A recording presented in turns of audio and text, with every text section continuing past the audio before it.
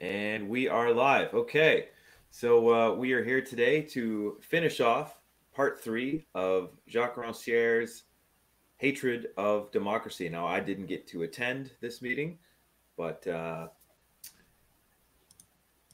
uh, you sent me the. Did you send me the? Uh, the yes, uh, through the um, live private chat. I can send okay. it through the live comments if you want. Uh, did you send it on Facebook? Uh, no, through this StreamYard. Oh, I, I don't see anything there. Okay, I'll send it through Facebook. Okay. Or if you go to my website, it's number 246. Okay, well, either way, you can. Um, I don't really need to see it. You can okay. just take us take us through the book. okay. So where are we at? So we're in the third and the last chapter. There's uh, four chapters, and we've done the first three. And just briefly on the first three, he's detected a new hatred of democracy that's directed at the people when they express their democratic desires outside of an election time. So it's not directed necessarily at this at the institutions, such as actually voting or at elections or at the idea of majority rule. It is directed, though, at people who want to change the system or things within the system outside of elections. Um, and the reason that he says that this is happening is because all governments in all times in all places in history have always been oligarchic. That is, that they are run by elites who claim a certain title to rule. Often those titles are, in the past, have been as a result of strength. Nowadays, it's more in terms of credentials or wealth or status. All of these are foisted upon us as reasons why some people are better or should rule over those who are who don't have whatever title these people may claim are are the right way or the best way to rule. Democracy opposes this by saying that it doesn't matter. Your titles are not the reason. There is no reason why anybody should ever rule over anybody else. It's always contingent. It's always completely. Um, I hate to use arbitrary, but it's it's based on chance. And uh, in the very beginning of the book, he was talking about how um, if you want the job, you're not qualified. Right. Right. However, um, he recognizes that that's an ideal situation that uh, doesn't really work in the real world, won't wouldn't work in this real world that we live in today. Uh, and so that's what, oh yeah, uh, yes, and that's essentially where we got to. Now, in today's last chapter, which he entitles "The Rationality of the Hatred," he's um, he's going to go over some of the techniques and tools that uh, they use, as well as some of the options that we have in the real world to make it, in a sense, better. He starts off by claiming that uh, that the the people who support this new hatred of democracy, which are always the elites, the oligarchs of government and of wealth, um, they want to attribute the limitlessness of wealth or the desire for the limitlessness of wealth, that is, of capitalism and its voracious appetites, to the democratic will of the people. You see, it's a bait and switch in a sense. Mm-hmm. They, the where corporations, pardon? The freedom to get rich is, yes. Is well, they want to hide that and blame its excesses and its follies and its uh, and its its problems on the will of the people. So, if it's uh, the argument sort of goes like this: we can't let the um, we can't let people have um, the de- their democratic rights all the time or their democratic will expressed all the time because then they would take everything from us. And where would we be? I mean, where would the job makers be or the job creators, right. as an example? So they want to say if we were to give free reign to democracy, the world would come to an end. And there's a certain a set of cultural uh, and uh, political tactics that are used, and we're going to cover at least three of them in the next little, and then before the end of this, that are used to scare, in a sense, people away from democracy. And this is happening right now with Bernie Sanders or Sanders. Uh, people That's are saying, I was going to bring up. Yeah. well, gonna, go ahead. Um, yeah, like with him winning now, if he doesn't get a, uh, um, a majority of votes for the convention, they'll try to uh, use their super delegate super delegates to uh, to um, keep him out. Yeah, keep him out basically. Mm-hmm. And uh, there's some other long-term Democrats I heard were saying something like, "If it's a choice between Bernie or Trump, I might run for Trump." These are exactly these are some of the these are examples of some of the fears that are being used. They're afraid of democracy. Yes, because he is probably the most democratic candidate out there. Uh, he's like literally a social democrat or democratic socialist or whatever. Yeah, he's a democratic socialist, right? Uh, which, and socialism is considered a bad word in the United States. So uh, he's incredibly brave in that sense of standing it up to it. Now, uh, for all the other things that uh, may be wrong with Bernie Sanders, he's the best choice that Americans have. Sanders, Saunders. I keep thinking of Colonel Saunders. Colonel Colonel Sanders? Is it Sanders there too? Okay, whatever. Chicken. Yeah. Anyway, um, case there's any doubt, I am about as unconditionally supportive of uh, Bernie Sanders uh, as of any other possible candidate out there. Conditionally. Uh, it's considering the rest of them. Um, there's very little he could do that just would distract me or would uh, change my vote for him if he's the only choice or if he's the other choices, right? Mm-hmm. So um, one of the things that they uh, that uh, this new hatred of democracy have done is they've um, in a sense, they've corrupted the, the natural idea or the original ideas that are associated with democracy. So, for example, elections um, or voting. Voting often is considered to be uh, you need unanimous consent before it's considered valid. So, a superior power that demands um, a, a, vote from those whom it whom support it, if it doesn't get that superior power, it's a major uh, it's a major faux pas for them. It's supposed to be that way. Uh, so the idea of first past the post or voting in our system of representation, which nobody ever gets that, it's already going against the initial set of conditions that were meant with the vote. Um, mm. Interestingly enough, North Korea, which gets pretty much everything else wrong, does get this correct. So although their candidates are not really chosen or free or anything like that, they need to get 95% popular support or they're replaced. Wow. And that just means that they actually do have the consent of the people. And if they don't get that 95% of the of the vote, the party finds somebody else to replace them. So they got everything else wrong. okay, so don't get don't don't suggest I'm thinking about North Korea as great, but they got this notion of the vote better than we do. 95 now that's something like to hear that in a in our you know liberal capitalist democracies that's that sounds almost unbelievable fantastic it does. it does. Well because we live in a world that's corrupted that uh, with corrupted democracy from his perspective. Again mm-hmm. when you're coming to okay his def, one of his definitions is coming together in equality for the common good. The common good is much more easily identified if you don't have private interests involved. So any politician is being paid it's already corrupted. They have an invested interest in get, keeping their paycheck. If they get any status symbols out as a result of becoming elected, that's a personal private interest, right? If yeah. they have any special privileges, if they can get reelected, this introduces a whole set of private um, interests. You take those out, and then the common good becomes much easier to see. So we've already, we already live in a corrupted system. But assuming you could get that,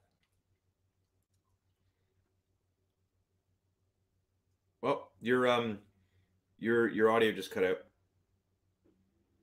That last sentence you just said, I didn't hear anything. Still don't hear you.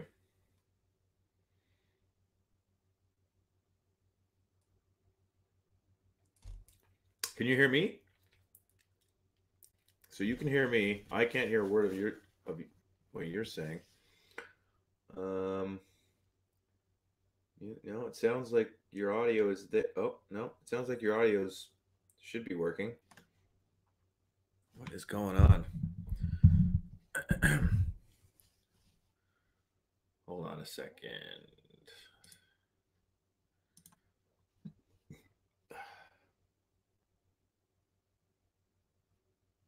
No, it's working on my end. So here, maybe try leaving and coming back. Here, I'll, I'll kick you out. Sorry about that, gang. Um,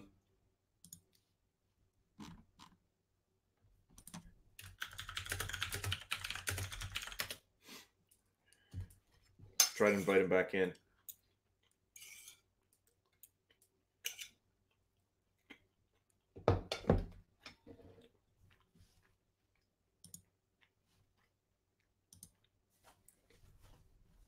Um, can you hear me?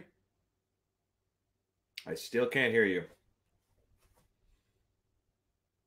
So it's it's your something with your microphone must not be picking up.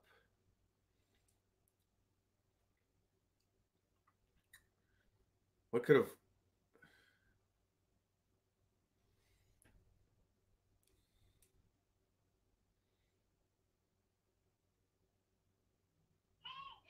Still nothing. You know what? Maybe go back to your your computer microphone. That might be our only option.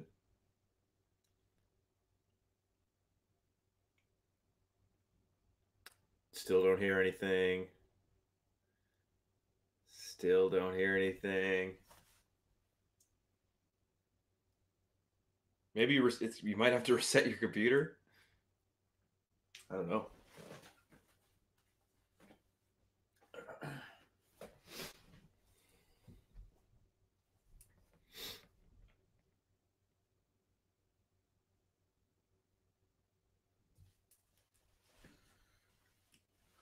Oops.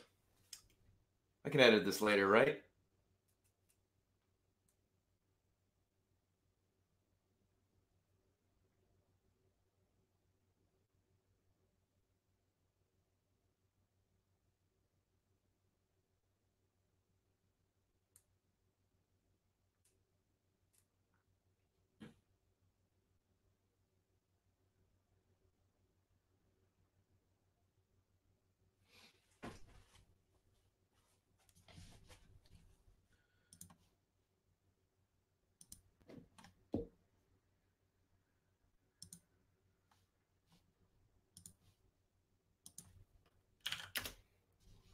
Okay. Give me a minute.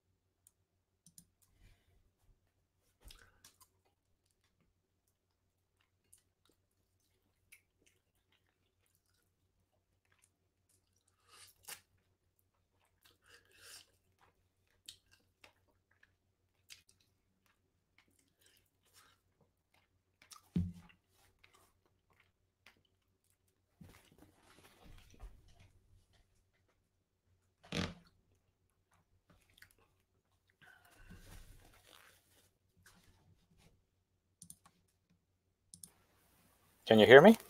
I can hear you. Good. The mic says it says it's working. Okay. Yeah, I hear you. So, uh, your memory where you left off? Um, we were talking about North Korea. Uh, yeah. So they've they've essentially got uh, the voting idea correct. Um, it's hard to say they have anything else right, but that that part they do, and probably better than we do. So the the new modern hatred of democracy wants to uh, attribute to the to, to the democratic principle everything that is wrong with capitalism and so in a sense bait and switch mm. the problems in the world that are caused by capitalism and attribute them to democracy. democracy. exactly and that is that's that's the essential motivation so he sees that there's a, a coalition between the oligarchs of wealth and the oligarchs of the state or of the elites of the uh, country uh, to do what they wish and anytime that people stand up and say, no, we don't really want that, or we want you to change that, it's a problem for them because it stops what they what they're doing. I have a, a great example. I think um, mm-hmm. today was watching some discussion between um, uh, some random right wing idiot and uh, and a popular left uh, leftist uh, streamer, Mhm. and uh, the the the uh, the right winger was trying to say that um, single parent families and poverty um, are correlated with the beginning of the welfare state, so that it was welfare programs that caused are causing single parent, uh, you know, black families and uh, uh, and the the poor, um, the poor culture uh, that they have apparently. Right. Not capitalism. No, not capitalism. Not, not white supremacy. Not at all. Not, But- not the effects of slavery. By that logic, we should get rid of hospitals because there's been nothing but sick people there. Right. yeah. Yeah. It's it's it's amazing backwards kind of rationalization. exactly. Oh man. Okay, so according to uh, Rancière, the worst form of government is um, is a government of those who are skilled at seizing power, who love and are good at seizing power. So he feels that even in our corrupted rep- representative system that we live in, there are at least five things that we should do within this corrupted system to mitigate that worst form of government. Uh, it does. It's not a perfect system because already representation from his perspective is not uh, ideal, but it is the world we live in.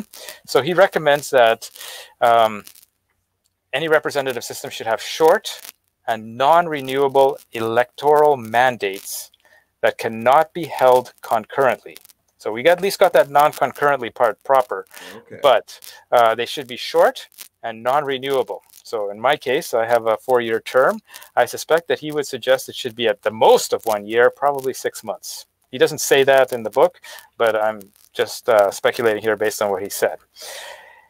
Second thing, and this this goes directly to uh, something I often hear. It takes a while for new democratic elected people, new people to get up to speed and to learn the ropes to yeah. uh, yeah. say So he says that's the process of becoming an oligarch. ah, So if So- you if you are starting to make excuses for the state, you've been lost.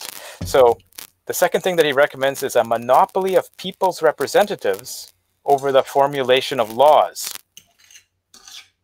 So that we people's representatives.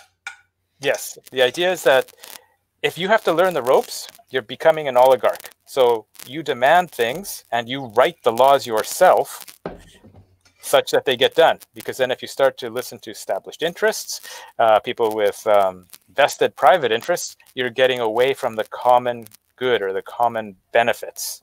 Well, well, hold on. Now, wouldn't wouldn't couldn't you argue that um, the reason you'd want so, uh, people with experience in uh, in leadership is that uh, the established outside interests, the established moneyed interests, uh, would be able to more easily trick and sway uh, newbies because uh, the, the newbies wouldn't wouldn't be used to their their uh, their games. Right. They're used to their games. But what he's arguing is that getting used to it is the bad process. When you come on and you But say, you know how to counter it if you're I don't know. If you're if you're experienced. No, I, my experience is that the more experienced you are, the uh, the more likely you're to yes. And from his perspective, the longer you're in there, the more corrupt, because you start to listen to these people who say you can't do that, and you say yes, I can. I have a monopoly of the formation of laws, so let me write it in. Hmm. So yeah, um, the longer you're in power, the more you know the game. That game is already corrupted there shouldn't necessarily be a game because you're already you're supposed to be coming there in equality for the common good if you have to learn a game you're learning how to play interests off each other Mm. so he said uh, and this So is part of doing democracy anymore. precisely you're doing oligarchic uh, fighting inter oligarchic fighting which is in fact what he claims is happening all over the world right now and especially in the united states where you have two established parties and they just keep switching power between the two of them every couple of years or every four or eight years Yeah. uh, and he refers to these parties as the governing or government parties because they are in support of the oligarchic system. So when you have a new guy coming in, he has an idea, presents it to the other people who are elected for a very short time, and uh, it, if if it's convincible that it's in the common good because he doesn't have any private interests involved, that gets done. It's very quick. So one of the things that people are complain um, are very uh, are saying with great pride in China's ability to contain this uh, novo uh, novo coronavirus uh, because they are a dictatorship and they can get like hospitals built in three days, that kind of stuff. Well, that's equally possible in a democracy, but maybe not our democracy where there's so many vested interests. When it becomes an issue of the common good, and the representatives actually have the ability to write the laws right there and then, you can get the same kind of turnaround that you would get uh, in a dictatorship without mm-hmm. the dictatorship possibilities. Mm-hmm. So that's why his second thing is you got to be able to write the laws right away. And uh, if you don't, if you don't, and the second you start playing a game, you're already corrupted. You got to be able to write the laws right away. Yes. So the third thing he says, so he gives five things that we can do to make our representative system avoid the worst of all forms of government, is a ban on state functionaries becoming the representatives of the people. Now he's French, uh, so this doesn't strike me as a very bad thing. Uh, maybe they don't do this in France, I don't know. But here in Canada, in the city level, if you work for the city, you can't run for city council or elected office. You actually have to take a leave of absence or quit your job. So sounds like we're getting that part right anyway. At least in the city. In the city, yes. Um, the fourth thing he says is a bare minimum of campaigning and campaign costs.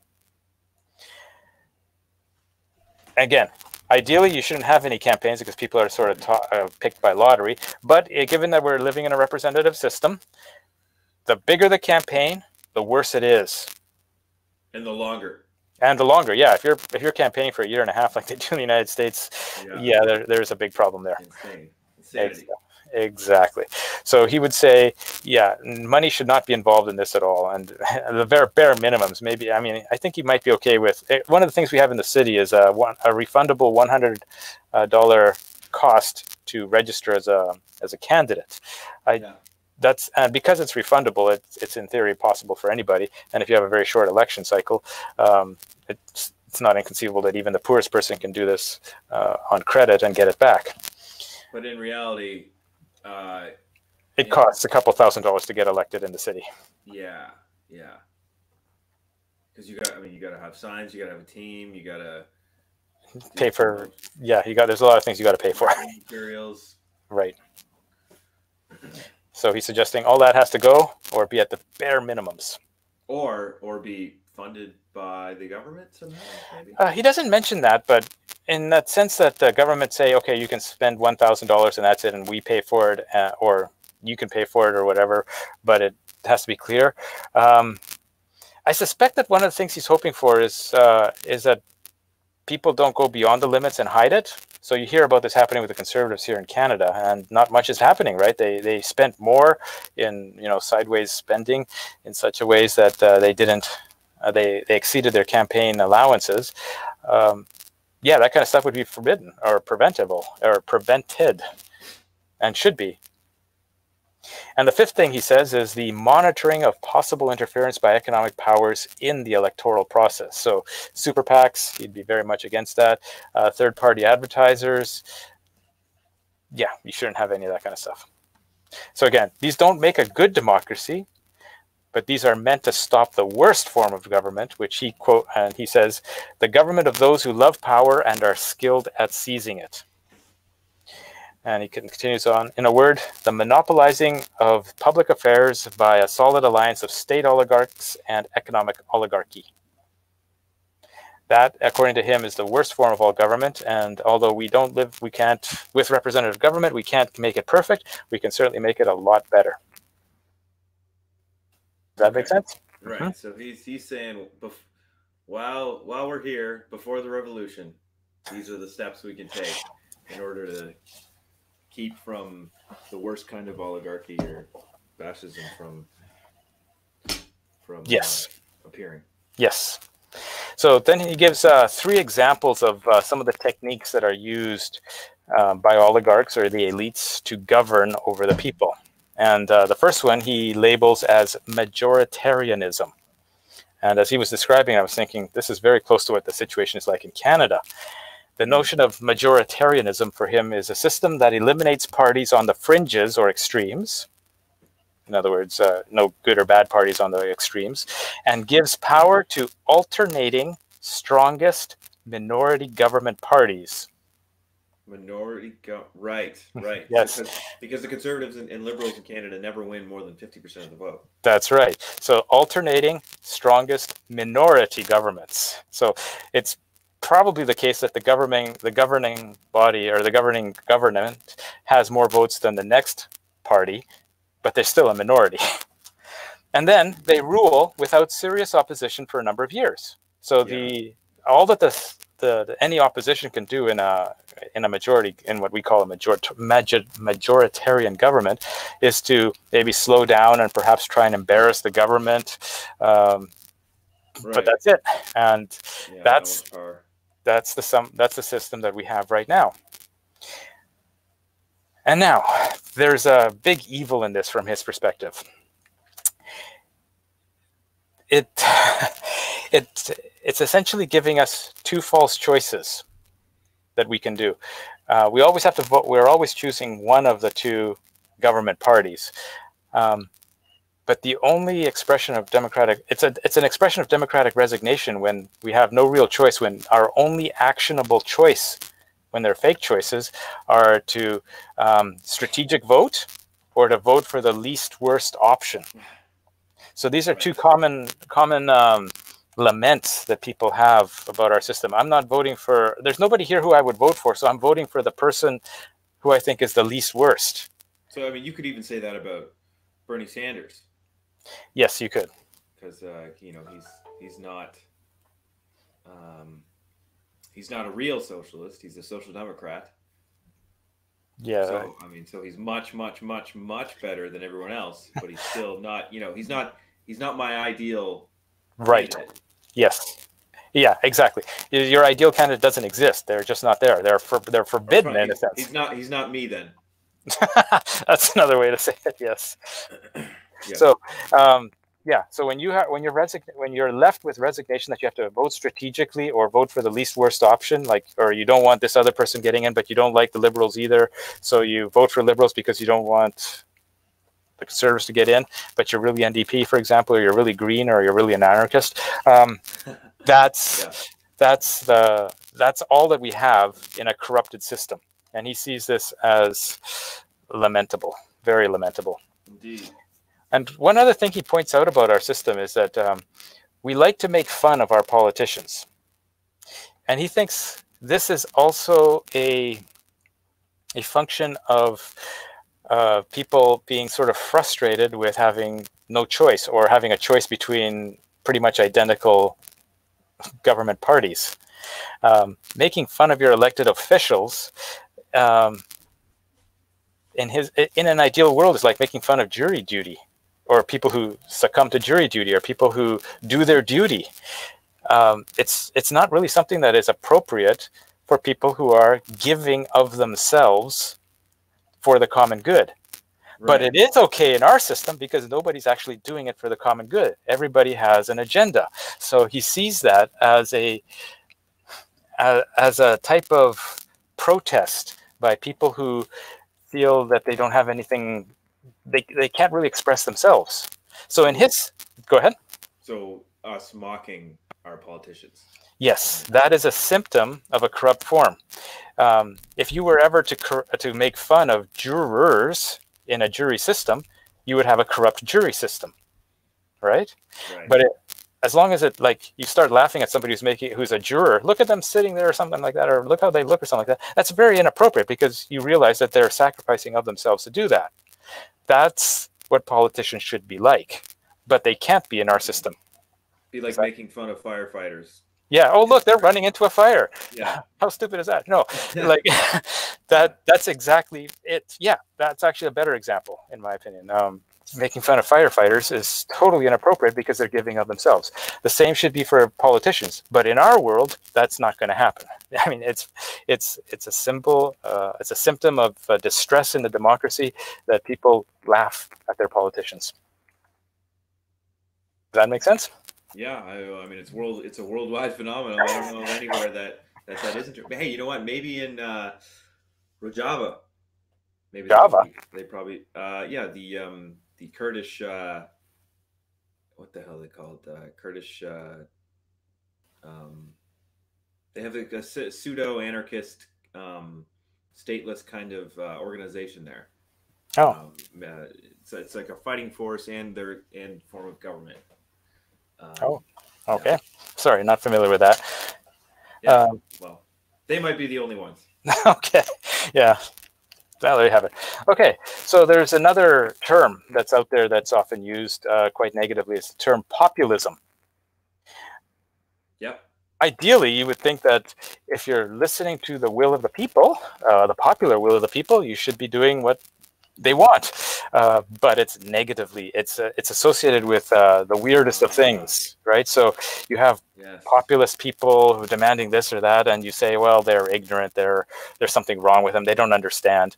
And this is where democracy, as a principle, um, challenges directly, or is is trying to challenge directly, all those people who govern by the authority of credentials or by knowledge.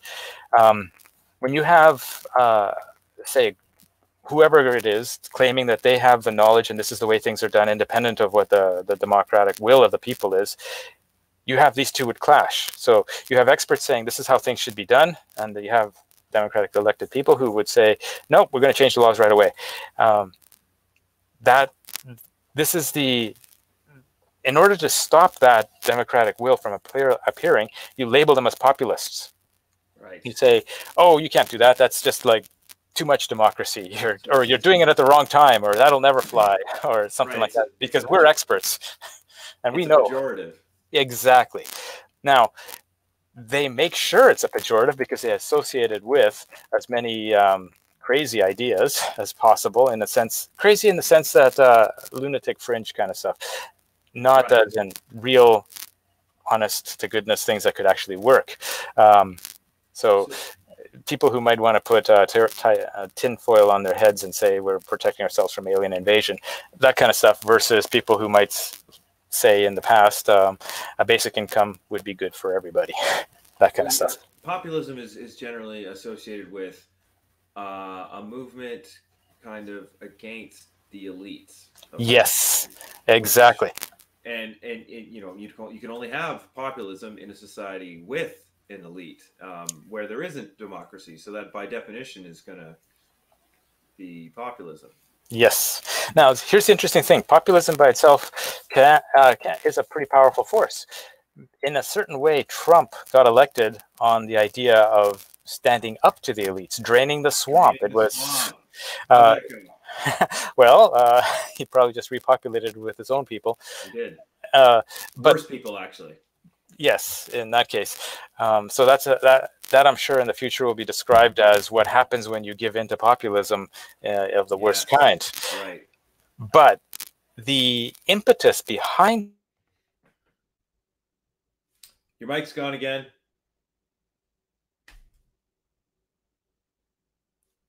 Can't hear you. Oh, oh no. Oh no. Well, whatever you did to fix it, you're going to have to do again, I think.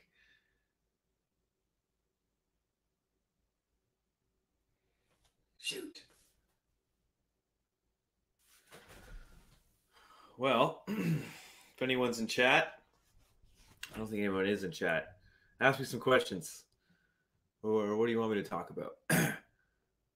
Tell you about my weekend. Went to a birthday party downtown, went to the dirtiest of dirty nightclubs in town, some of the greatest characters uh, you'll ever see in a bar.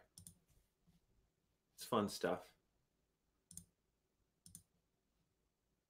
Let me just have a look. See here. view on YouTube. There's three. There's three people watching now. Go ahead, ask a question. Let's kill the time here while. Uh... Oh, there we go. Jeff's back. Never mind. Okay, is everything working now? Yeah, everything's good. Okay, let's finish off. Okay, I'm just uh, finding my notes here. Okay, so that was populism.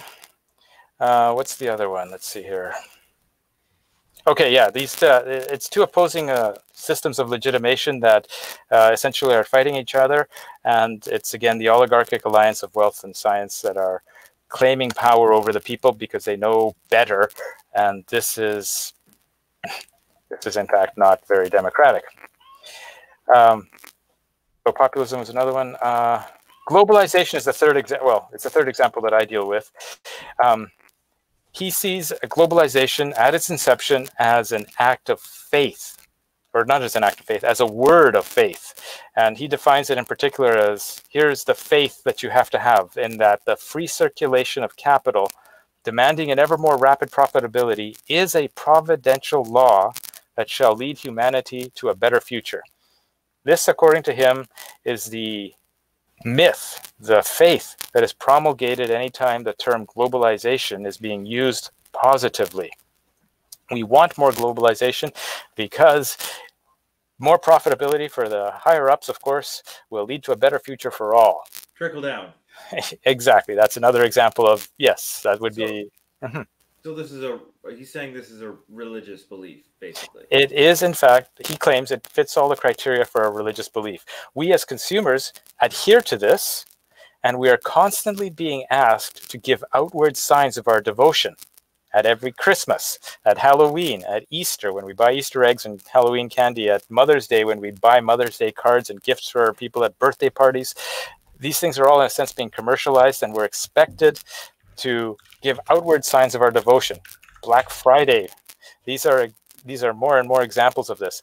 And if you disagree with this, you're labeled as ignorant. Like, what's wrong with you? Why do you still have a flip phone when you can get a smartphone? That kind of stuff, right?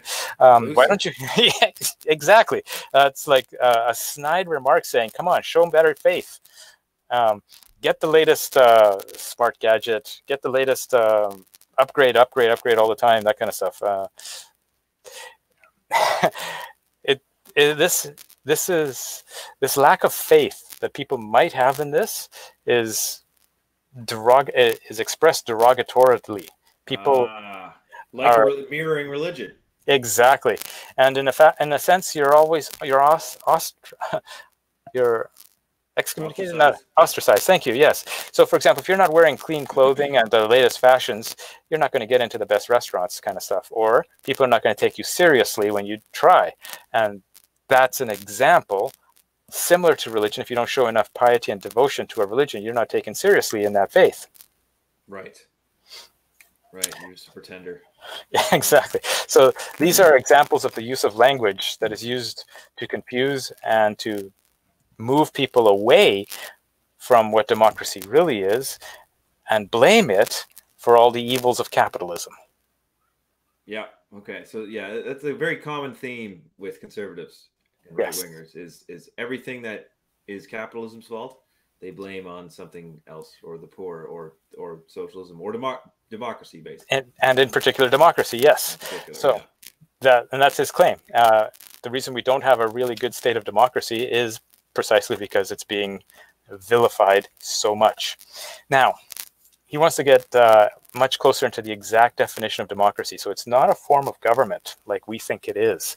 That's a misnomer like we live in a democratic state we're told right? Even north korea claims to be a democratic state and so does china and singapore okay? Um, no it's not true. Um, we've already corrupted that. For him democracy is not a form of government and that that's a major problem that uh, people have been taught incorrectly.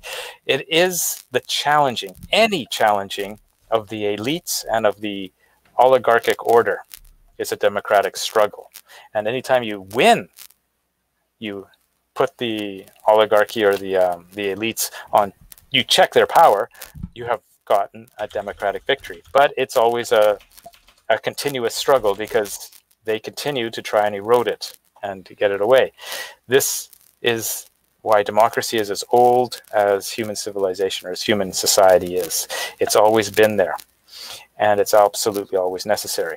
the The idea that he says is that when science, the principle of democratic rule, meaning the struggle of the will of the people, and the principle that those who know best should rule or those with most power should rule are right basically equal then you have a good functioning not perfect in the sense of the rules and laws are not perfect but you have a functioning state. You have a good state of affairs. When one dominates in particular the oligarchic or the the the, um, the oligarchs of power or the oligarchs of state or the oligarchs of uh, knowledge or any of those people who have a title to rule dominate over the rest you have a major corruption of democracy. And that's when democracy becomes even more important to fight against, or sorry, fight for, with. yeah. So we live in a world in which experts essentially rule.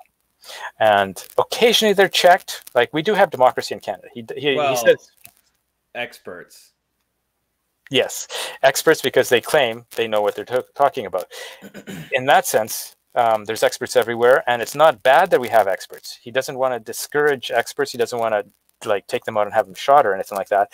They're absolutely necessary when kept in their place, subservient to the democratic will of the people.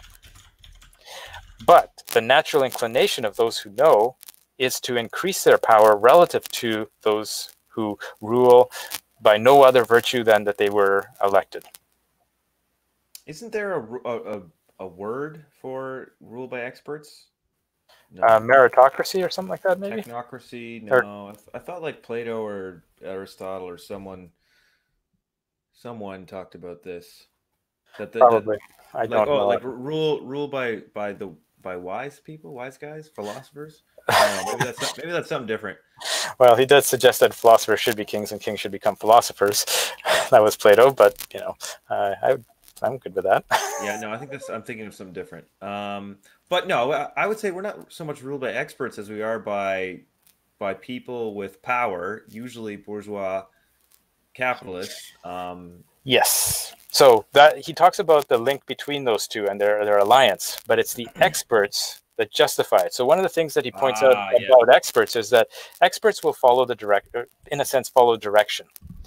If they get direction from people who are, in a sense, corrupted with personal interests, they will be used in the worst possible way. However, if these experts are being used, in a sense, by the democratic will of the people, they will do things differently. And as examples of this, um, there are there's okay let's put it this way there's there's a good and right scientific way to put up a statue build a road uh, build a building but the the value that goes with whether you build that statue, that building, or that road, that's the democratic decision. And insofar as experts are succumbing to, or not succumbing, sorry, I should say, are under the uh, power of the democratic people, elected people, or represent, not represent, I hate to use representatives, he hates it, um, the elect, uh, the democratic forces, then they are doing a good job. But if they're under the, uh, if they're serving the elite interests of the of the um, capitalist class, they're also doing a good job from their perspective, but it's against democratic will. So they're mm. enriching the the the uh, the elites. So what he's saying is that the experts are absolutely necessary, but by virtue of what of whom they are working for is the issue.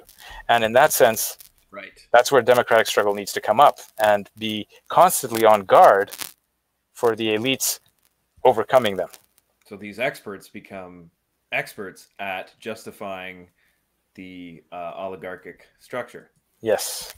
And, Often uh, because it's better for them, yes. uh, because they get paid a lot. So there was a common, um, there was a somebody was pointing out that uh, Fox News is made up of uh, millionaire newscasters who are working for billionaires to keep them billionaires, right? Uh, that's the that in a sense has been Fox News has been co-opted corrupted in a sense by the power elite against the democratic will. That's that's what he would say in this particular case. Uh, probably the same for all major news networks. Because if you're a major yeah. news network, I mean, you're owned by somebody who's extremely well off, um, and that's that's part of the problem. There's money serving, in that one, and you're serving their interests. Yes. because they pay your paycheck. That's or they enhance your paycheck or they they give you extra status. There's a whole bit different ways of doing this, and experts, in a sense, need to be uh, reminded of their place to serve the democratic will of the people. Because if you're asking for a better world, you can come together in equality to find what the common good is, or you can take, in, as it is in the world today, the advice of people who have a vested interest. And you know, I'm a job creator, so lower my taxes so I can create more jobs. Yeah, that's the that's the game. That's the game. So from his perspective, democracy is always that struggle of government of anybody and everybody that checks the power of the elites or of wealth or of anybody who has a title and uses that as a reason to rule.